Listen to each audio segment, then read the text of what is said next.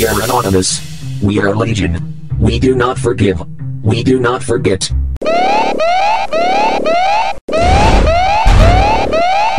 Anonymous Operation Russia Statement. Greetings to Vladimir Putin and the people of Russia. We are the Anonymous Operation Russia. We in Anonymous have watched the behavior of the Russian Federation. With growing alarm as you have descended into tyranny and brutality.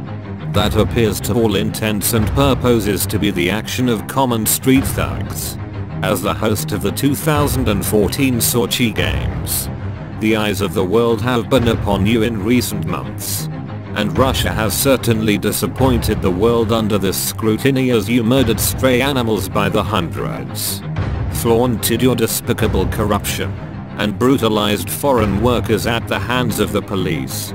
For the unspeakable crime of demanding the money they had been promised. In payment for their labor as they constructed the Olympic compound. To make matters worse, thousands of men and women were forced from their homes at gunpoint by the military. Without even being given time to pack.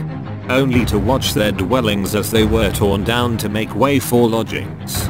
And arenas for the Olympic Games. This is to say nothing of the shocking and disturbing intolerance you have displayed towards gays, lesbians, and transgendered people. As you have beaten and imprisoned them for being who they are. You even turned a blind eye to the hate crimes inflicted upon them by criminals in your society. Your assurances to the gays and lesbians of the world coming to visit your country for the games. That they would be safe as long as they stay away from children. Is laughable and insulting.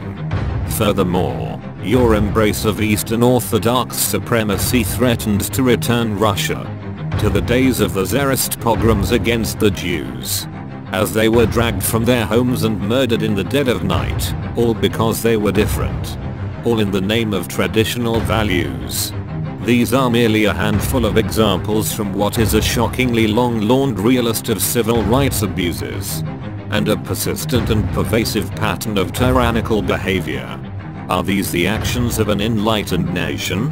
Are these the thoughtful actions of men of peace? Vladimir Putin your 16 years in the KGB has certainly prepared you for this sort of boorish criminal behavior. And we have come to expect little else from Russia in recent years.